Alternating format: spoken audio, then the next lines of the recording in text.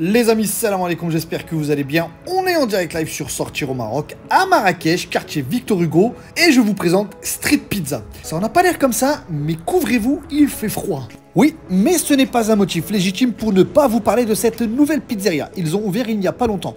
Et je crois qu'ils vont faire plaisir à toutes les plateformes de livraison en ligne. Et vous allez voir circuler leurs livreurs dans tout Marrakech. Oui, et je pèse mes mots, car en effet, dans Street Pizza, il y a pizza. Et 90% de leurs cartes, ce ne sont que ça. Et que ce soit à la part, à la pizza, basse tomate ou crème, il y a bien une pizza avec laquelle vous allez vous entendre.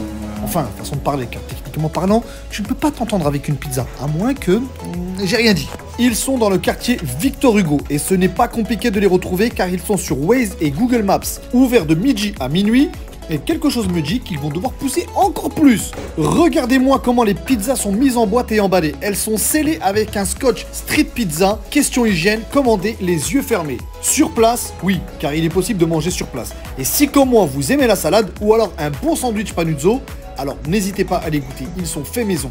Et à la fin, laissez-vous tenter par l'un de leurs excellents desserts. Chez Street Pizza, il est possible de manger des pizzas à la part et ils ont pensé à bien les conditionner. Je vous laisse avec la carte et les prix. Bon appétit, salam alaikum tout le monde